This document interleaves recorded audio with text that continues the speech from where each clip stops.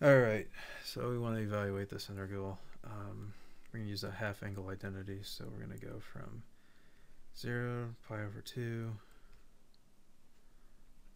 1 half, 1 plus cosine 2 theta d theta is equal to 1 half theta plus 1 half sine 2 theta from 0 to pi over 2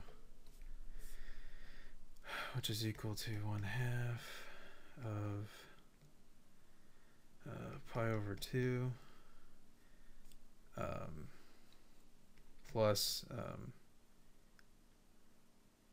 sine, so pi over 2, so that's 2 pi, so that's pi, sine of pi is 0 times 1 half, it's just 0, uh, minus, and then you plug in 0, and then 2 theta, so it's just 0 plus 0.